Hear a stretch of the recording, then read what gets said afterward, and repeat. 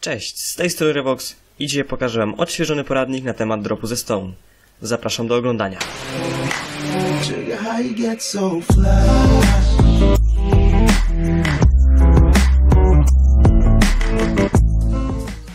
Ok, więc poradnik, który zrobiłem jakieś 3 lata temu, może 2, już jest średnio aktualny, nawet tam link do pobrania wygasł. Znaczy nadal działa, można go zrobić na wersji 1.12, 1.11 i chyba 1.10, ale na 1.13 już trzeba użyć innych sposobów. Więc zaczynajmy. Tutaj mam dwa bloki, które robią pogodę oraz dzień. Mapę można oczywiście też pobrać z opisu, żeby tutaj się nie męczyć, aż ja tutaj będę opowiadał. Więc częścią pierwszą jest omówienie mechanizmu. Mamy tutaj scoreboard, który jest scoreboardem wykopane bloki i zawiera on tutaj Minecraft Mind, Minecraft Stone.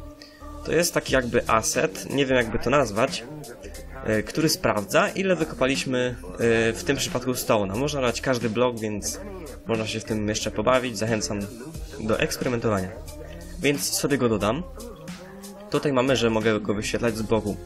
Nie jest to jakoś y, wymagane, ale tak do, do demonstracji to pokażę. Jest dodane, tylko on pojawi się dopiero za chwilę.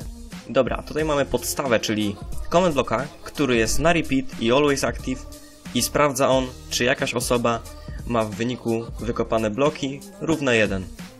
Tutaj mamy komparator, bo to jest jedyna, jedyna, jedyny sposób, jaki możemy wyciągnąć sygnał z comment blocka i do lampy.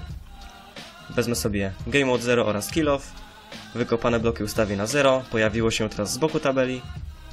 I jeżeli to wykopię, jak widzicie lampa się zapaliła. Wykopane bloki z boku po prawej stronie też się zmieniło na 1.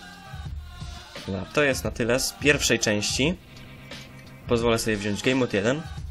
I to jest podstawa, która będzie używana do zrobienia dropu już jakby prawdziwego.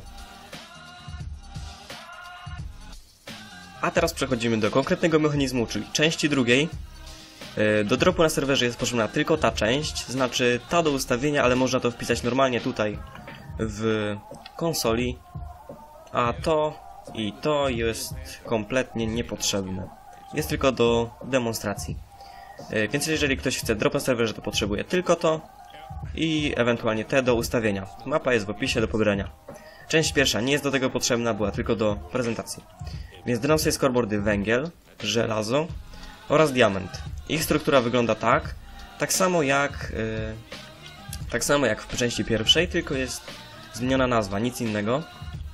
I teraz yy, tak, tutaj mamy ustawione bloki command bloki, które są na repeat i sprawdzają czy węgiel jest równy 10. Jeżeli węgiel jest równy 10, to wypisuję na czacie, yy, że znalazłem węgiel Oprócz tego daje mi jeden węgiel i ustawia mi z powrotem ten węgiel na 0. Jest to tak zrobione, że nawet jeżeli kilka osób będzie kopało w tym samym czasie, to się nie zbaguje, ponieważ jest licznik resetowany tylko dla jednej osoby. Yy, czyli to jest w sumie to samo co tutaj, tylko rozszerzone o dwa bloki więcej, no i trochę z inną treścią. Tutaj jest w przypadku żelaza to samo, tylko sobie ustawiłem na trochę inaczej. Zapra- yy, można sobie to wypróbować, zachęcam do tego. Wezmę sobie Game Mode 0 oraz Skill Off. Wejdę tutaj i zacznę sobie kopać. Tak sobie będę kopał, kopał. Wykopane bloki też mi rosną. Ale, o, znalazłem węgiel. Jak widać w czasie też się pojawiło. Co tutaj następne wleci? O, mamy żelazo. Świetnie, kolejny węgiel.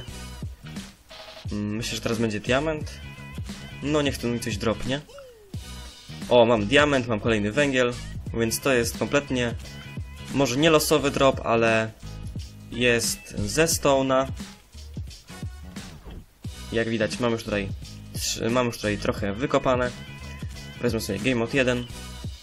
I można to sobie rozszerzyć. Można dodać, nie wiem, że patyki leciały ze Stone'a, można dodać, żeby nic nie leciało ze Stone'a. Yy, można zrobić, nie wiem, że woda leciała ze Stone'a. To już można sobie poeksperymentować. Więc to by było na tyle. Ja się z wami żegnam. Jeżeli ktoś ma jakieś pytania, śmiało piszcie w komentarzu. Cześć!